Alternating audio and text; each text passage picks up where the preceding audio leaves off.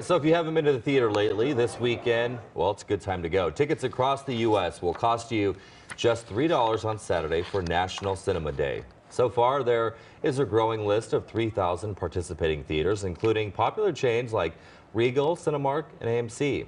The special price includes all showings for all movies in all formats, even for IMAX and 3D.